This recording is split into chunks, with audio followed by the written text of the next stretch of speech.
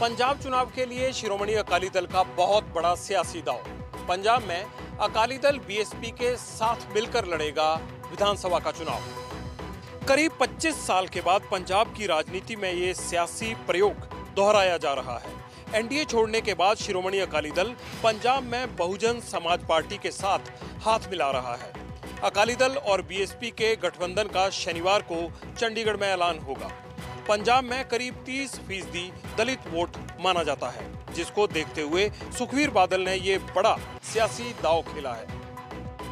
1996 का लोकसभा चुनाव, अकाली दल और बीएसपी दोनों मिलकर लड़े थे।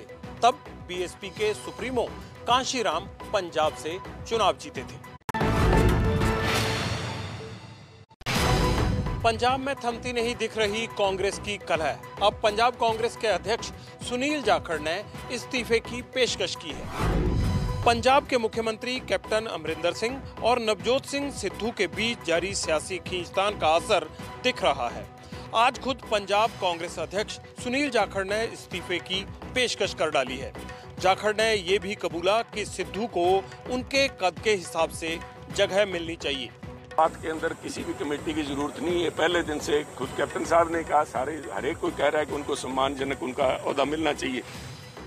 पंजाब का झगड़ा सुलझाने के लिए कांग्रेस ने जो कमेटी बनाई थी उसकी रिपोर्ट में भी पंजाब कांग्रेस अध्यक्ष को हटाने की पैरवी की गई है। वो रिपोर्ट कल ही कांग्रेस हाईकमान को सौंपी गई है। क्या बिहार में एनडीए के भीतर सब कुछ ठीक नहीं चल रहा है? एनडीए के नेता जीतन राम मांझी और दूसरी तरफ़ महागठबंधन के नेता तेज प्रताप यादव के बीच हुई मुलाकात ने इन अटकलों को हवा दे दी है। लालू प्रसाद यादव के बड़े बेटे और आरजेडी नेता तेज प्रताप जीतन राम मांझी से मिलने उनके घर पहुँचे। लालू का आज जन्मदिन है, लेकिन मांझी और तेज प्रताप के बीच करीब एक घंटे की इस मुलाकात ने नई अटकलों को जन्म दे दिया है। मांझी की पार्टी ने इस मुलाकात को निजी बताया है। खुद जीतन राम मांझी ने तेज प्रताप से मुलाकात के बाद कहा कि किसी राजनीतिक मुद्दे पर उनकी बातचीत नहीं हुई है।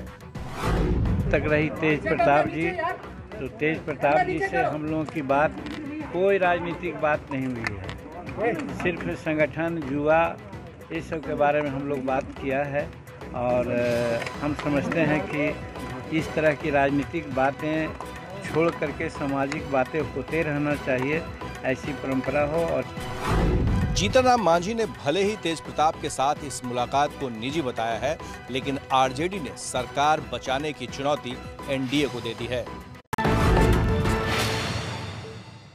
वाराणसी में 125 साल के बाबा शिवानंद ने कोरोना की वैक्सीन लगवाकर पेश की है अनूठी मिसाल। बाबा शिवानंद को टीके का पहला डोज दिया गया है। 125 साल के बाबा शिवानंद वाराणसी के दुर्गाकुंड क्षेत्र के रहने वाले हैं। उन्होंने कोरोना की वैक्सीन, दुर्गाकुंड, शहरी प्राथमिक स्वास्थ्य केंद्र पर खुद जाकर लगवाई। बाबा शिवानंद कोविड 19 टीकाकरण कार्यक्रम का हिस्सा बने और दावा ये किया जा रहा है कि पहली डोज लगवाने वाले देश के सबसे उम्रदराज व्यक्ति हैं। इससे पहले छत्तीसगढ़ के सागर ज़िले की तुलसीबाई को 118 साल की उम्र में कोरोना की वैक्सीन लगाई गई थी। बहरहाल, टीका लगवाने वाले बाबा शिवानंद और टीका लगाने वाली टीम दोनों ही बेहद उत्साहित हैं। यूपी के सीएम योगी आदित्यनाथ आज पीएम नरेंद्र मोदी से मिले और फिर बीजेपी अध्यक्ष जेपी नड्डा से। पर सवाल ये है कि मुलाकात हुई तो फिर बात क्या हुई? इससे पहले कल दिल्ली पहुँचने के बाद सबसे पहले गृह मंत्री अमित शाह से योगी की बातचीत हुई। दिल्ली में मैराथन मीटिंग चल रही है, लेकिन बीजेपी का कोई नेता मुँह खोलने के लिए तैयार नहीं है। हालाँकि कयास लग रहे हैं कि योगी ने पीएम मोदी को यूपी में अपने काम की रिपोर्ट दी। साथ ही बड़ा अपडेट ये कि यूपी में योगी के मंत्रिमंडल में नए चेहरे शामिल हो सकते हैं। हालाँकि यूपी की सियासत पर विपक्ष का दावा कुछ ऐसा है। पिछले कई दिनों से लगातार खबरें हैं कि योगी जी और मोदी जी के बीच में मनमुटाव है। पिछले कई दिनों से इसी विवाद को लेकर उत्तर प्रदेश और देश के सभी अखबारों में, चैनलों में खबरें दिखाई जा रही हैं। यूपी में विधानसभा चुनाव की सरगर्मियाँ तेज हुई, बीजेपी में हलचल बढ़ने के साथ ही छोटे दल भी सक्रिय हो गए हैं। बीजेपी में राजनीतिक माहौल गरमाने के साथ ही यूपी की छोटी पार्टियों के भी दिन लौटने के आसार दिख रहे हैं। गुरुवार को ही अपना दल की प्रमुख अनुप्रिया पटेल ने अमित शाह से मुलाकात की थी। माना जा रहा है कि अनुप्रिया ने खुद के लिए केंद्रीय मंत्रिमंडल में और पति के लिए यूपी सरकार में जगह की डिमांड रखी है। 2017 में अनुप्रिया की पार्टी के नौ विधायक जीते थे। गुरुवार को ही निषाद पार्टी के प्रमुख डॉक्टर संजय निषाद और उनके सांसद बेटे प्रवीण निषाद ने भी अमित शाह से मुलाकात की और केंद्र राज्य में एक एक मंत्री पद की मांग रखी। प्रवीण निषाद गोरखपुर से बीजेपी के टिकट पर पिछली बार सांसद बने थे और वर्तमान में संत कबीर नगर से सांसद हैं। यूपी के छोटे दल जातियों की ताकत पर टिके हुए हैं। प्रदेश में निषाद और पटेल जातियों की बहुतायत है ऐसे में इन जातियों का भाव चुनाव से पहले बढ़ गया है। दीदी की शरण में आए मुकुल रॉय बीजेपी के राष्ट्रीय उपाध्यक्ष। वर्तमान में मुकुल रॉय और उनके साथ उनके बेटे अब तृणमूल कांग्रेस में टीएमसी सुप्रीमो के साथ शामिल हो गए। ममता की पार्टी में कुछ इस तरह एक बार फिर मुकुल रॉय की वापसी हो गई। करीब चार साल पहले ममता का साथ छोड़कर मुकुल रॉय बीजेपी में आए थे। बीजेपी ने उन्हें पार्टी में उपाध्यक्ष बनाया था। बीजेपी की टिकट पर ही इस बार से विधानसभा चुनाव में मुकुल रॉय कृष्णनगर सीट से जीते थे। हालाँकि उनके बेटे शुभ्रांशु हार गए लेकिन विधानसभा चुनाव नतीजों के बाद से ही मुकुल रॉय बीजेपी की बैठकों में कम दिखाई दिए और अब फिर से ममता के साथ आ गए हैं। हम तो बीजेपी छोड़ के तृणमूल में आया है। और और अभी बंगाल में जो स्थिति है ये स्थिति में कोई बीजेपी छोड़ बीजेपी में रहेगा नहीं। गौरतलब है कि रॉय चार साल पहले बीजेपी में शामिल हुए थे, लेकिन उनका कद शुभेंदु की तरह नहीं बढ़ा। जिस तरह से शुभेंदु के कद और पद को बढ़ाया गया है, वो एक कारण माना जा रहा है, उनकी तृणमूल कांग्रेस में घर वापसी का। 2024 के आम चुनाव के लिए विपक्ष ने शुरू की तैयारी। पीएम नरेंद्र मोदी के खिलाफ चेहरा तलाशने के लिए शरद पवार से मिले ममता के रणनीतिकार प्रशांत किशोर। लोकसभा चुनाव में अभी भले ही तीन साल का वक्त हो, लेकिन विपक्ष ने चेहरा तलाशने का काम शुरू कर दिया है। इस कड़ी में एनसीपी प्रमुख शरद पवार के मुंबई वाले बंगले पर चुनावी रणनीतिकार प्रशांत किशोर ने मुलाकात की है।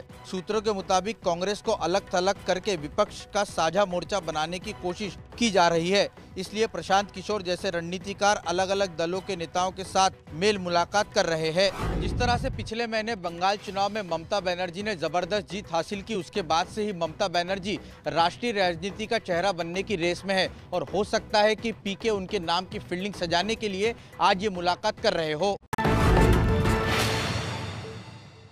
दिल्ली में घर घर राशन योजना पर मचा घमासान। केजरीवाल और बीजेपी में जुबानी जंग हुई तेज। रविशंकर प्रसाद बोले दिल्ली सरकार तो राशन माफिया के नियंत्रण में है। अरविंद केजरीवाल जी हर घर अन्न की बात कर रहे हैं। घर घर ऑक्सीजन तो पहुँचा नहीं सके। मोहल्ला क्लिनिक दवा तो पहुँचा नहीं सकी। अब अनाज की बात कर रहे हैं। यह भी कितना बड़ा जुमला है कि दिल्ली सरकार राशन माफिया के नियंत्रण में है, उनके सारे फैसले। और ये बात मैं बड़ी जिम्मेवारी से बोल रहा हूँ। जैसे ही बीजेपी ने केजरीवाल सरकार पर यह गंभीर आरोप लगाए तो केजरीवाल भी एक्शन में आ गए। उन्होंने ट्वीट किया। आज लोग केंद्र में ऐसा नेतृत्व देखना चाहते हैं, जो पूरा दिन राज्य सरकारों को गाली देने और उनसे लड़ने की बजाय सबको साथ लेकर चले। देश तब आगे बढ़ेगा जब 130 करोड़ लोग सभी राज्य सरकारें और केंद्र मिलकर टीम इंडिया बनकर काम करेंगे। इतना गाली गलौज अच्छा नहीं। दिल्ली में घर तक राशन पहुँचाने की योजना पर काफ़ी समय से विवाद है। पहले केंद्र सरकार की आपत्ति के बाद अरविंद केजरीवाल ने योजना से मुख्यमंत्री नाम हटा दिया था। लेकिन केंद्र ने एक बार फिर ये योजना रोक दी। पारदर्शिता की कमी का हवाला देकर बीजेपी इसमें राशन माफिया का कनेक्शन देख रही है। जम्मू को अलग राज्य का दर्जा दिए जाने की मांग तेज आज शिव सैनिकों ने प्रदर्शन कर उठाई मांग।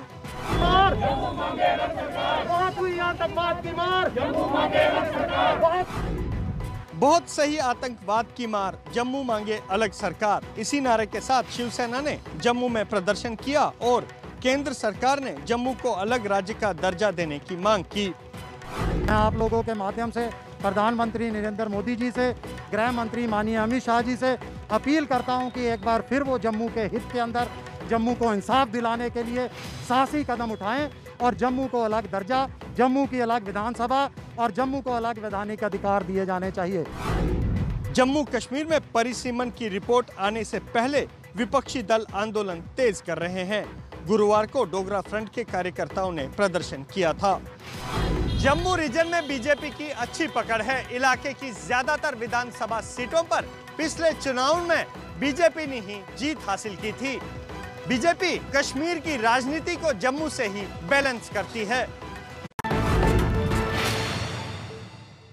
जयपुर की राजनीति में फूटा वीडियो बम। जयपुर ग्रेटर नगर निगम की निलंबित मेयर सौम्या गुर्जर पर कचरा उठाने वाली कंपनी से घूस मांगने का आरोप। सौम्या के पति का वीडियो हुआ वायरल। गलत बात तो नहीं गलत वायरल हो रहे इस वीडियो की वजह से ग्रेटर जयपुर की मेयर सौम्या गुर्जर फंसती दिख रही हैं। आरोप है कि सौम्या के पति राजा राम इस वीडियो में कचरा उठाने वाली कंपनी बीवीजी से 20 करोड़ रुपए की घूस मांग रहे हैं। वायरल वीडियो अप्रैल महीने का है। आरोप है कि बीवीजी कंपनी का दो सौ छिहत्तर करोड़ का बिल पास करने की एवज में 20 करोड़ की घूस मांगी गई। हालाँकि बीवीजी कंपनी घूस के आरोपों को खारिज कर रही है।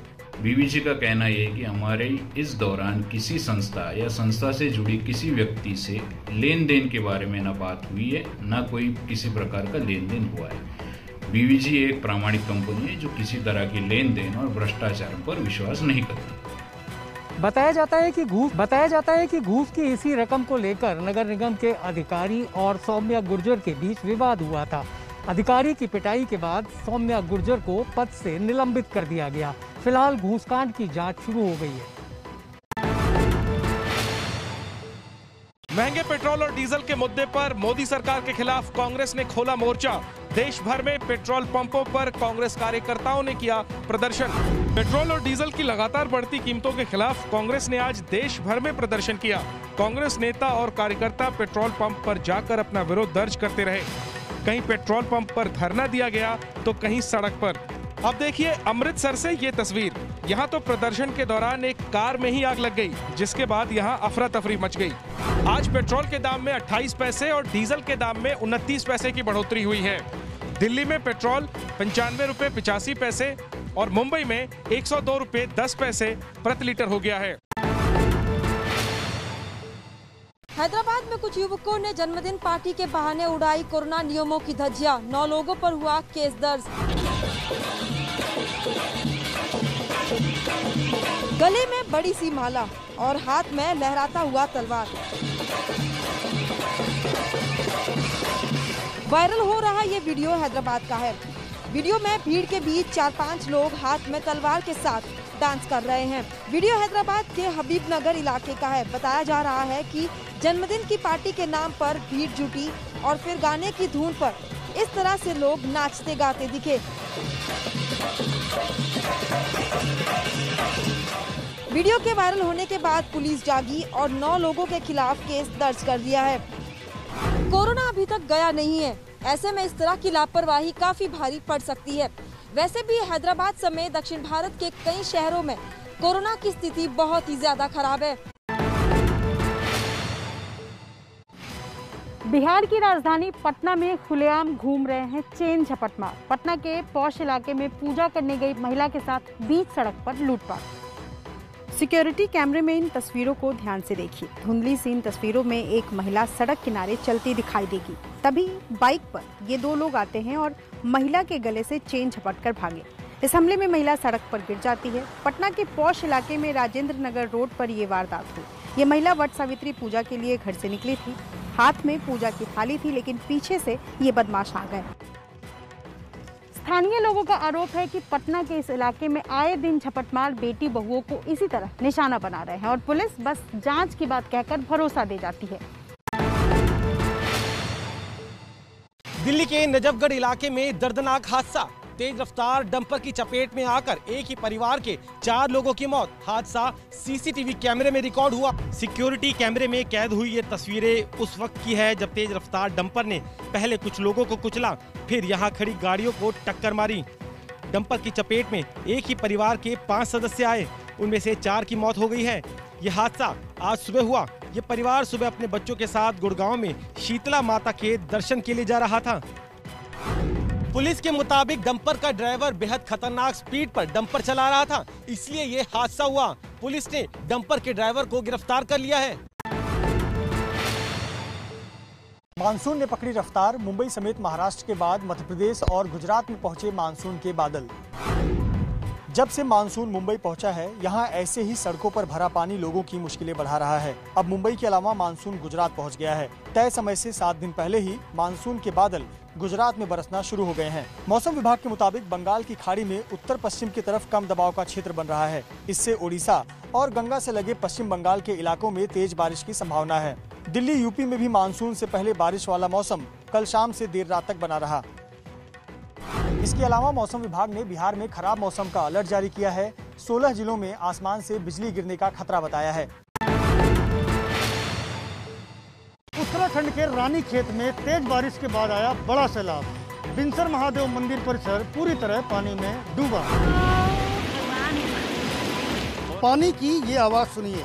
ये गर्जना बता रही है कि पानी जब सैलाब बनकर आता है तो कितने खतरनाक हालात पैदा कर देता है। तस्वीरें उत्तराखंड के रानी खेत की हैं और ये यहाँ का बिनसर महादेव मंदिर है। कल यहाँ इतनी तेज बारिश हुई कि मंदिर के अंदर फ्लैश फ्लड, यानी अचानक बाढ़ जैसे हालात बन गए। मंदिर के ज़्यादातर हिस्से पानी में आधे डूब गए। दरअसल पहाड़ों पर तेज बारिश हुई और ये पानी जब मिलकर नीचे आया तो यहाँ मंदिरों, दुकानों, सड़कों, सब जगह आफत ले आया।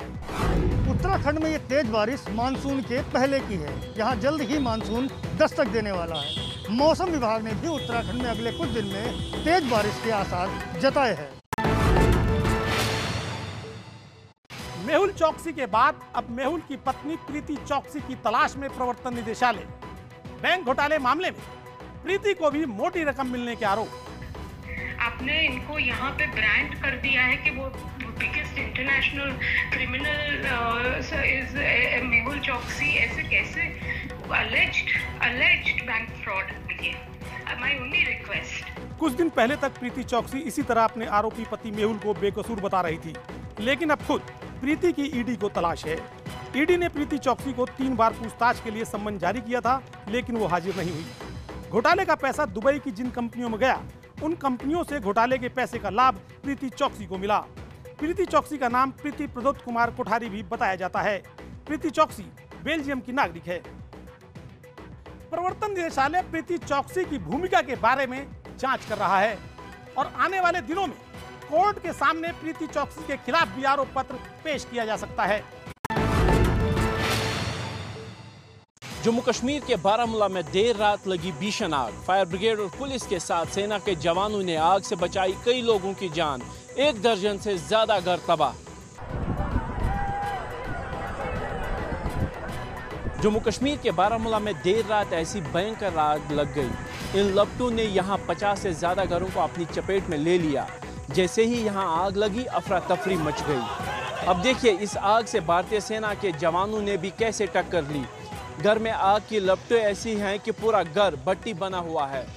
और सेना का ये जवान अपनी जान जोखिम में डालकर यहाँ पानी से आग बुझा रहा है। दमकल विभाग के साथ सेना के जवानों की ये मेहनत रंग लाई और समय रहते आग पर काबू पा लिया गया। ऊपर से मार से ना गिरे तेरे। बारामूला के नूरबाग में लगी इस आग में रात को ही काबू पा लिया गया, लेकिन कई घर इसमें जल गए। हालाँकि समय रहते लोगों को यहाँ से सुरक्षित निकाल लिया गया। वीडियो में आप देख सकते हैं कि कैसे रोड पर पानी के बीच कार फंसी है और राहत बचाव का दस्ता कार में फंसे लोगों को निकालने की मशक्कत कर रहा है। तस्वीरें अमेरिका के वर्जीनिया प्रांत की हैं, जहाँ अचानक आए पानी की वजह से कार सवार परिवार सहित फंस गया। मोटर बोट की मदद से सबको बचाया गया। अलग अलग कारों में फंसे कुल 17 लोगों को इस तरह से रेस्क्यू टीम ने सुरक्षित निकाला। मौसम के अलर्ट की अनदेखी करना कितना खतरनाक हो सकता है, इन तस्वीरों के ज़रिए आप समझ गए होंगे। अपने देश में भी कई जगह बारिश हो रही है, इसलिए घर से निकलने से पहले बारिश के पानी की पूरी जानकारी लेके निकलें।